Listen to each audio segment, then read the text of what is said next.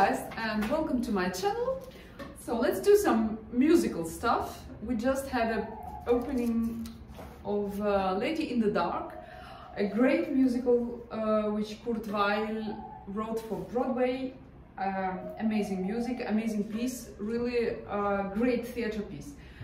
So, um, uh, by the way, we did it in German, so the people here understand everything, which also works very well, I think.